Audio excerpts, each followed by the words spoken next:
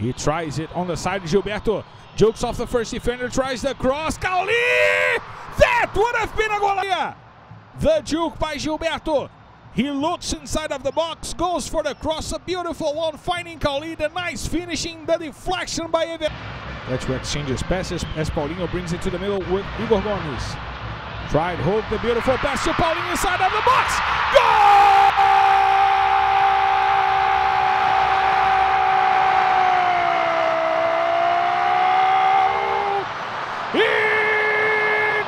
It's Atlético's goal!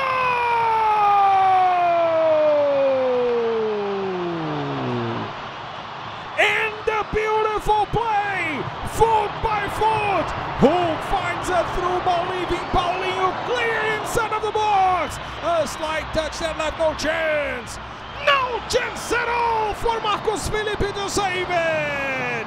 Atletico leaps ahead with Paulinho, the son of Paulo, the son of Paul, opens up the score for the Roosters at home. Paulinho, now Atletico 1.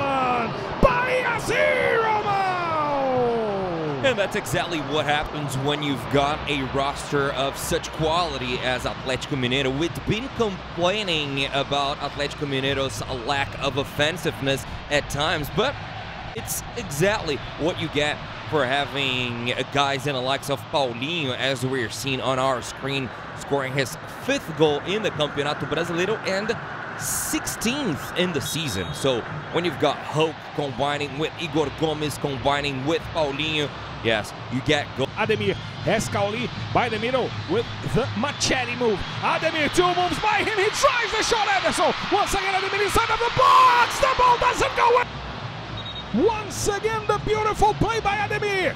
He jukes off two players. The ball is deflected. Thaciano tries the second shot. The ball touches Everson.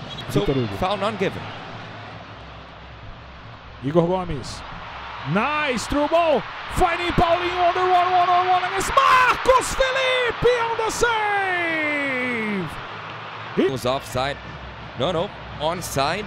But Paulinho needed to have done better, right? I mean, This credit. is the kind of play that Ronaldo would make the goalkeeper go to the ground five times. exactly, exactly. It's those uh, uh, um, former very tough, right? Look at it again. Look at the technique. Arms open, the legs open. Just a perfect technique to save those plays. Imagine having Paulinho on a run in front of you, saving it with your right foot.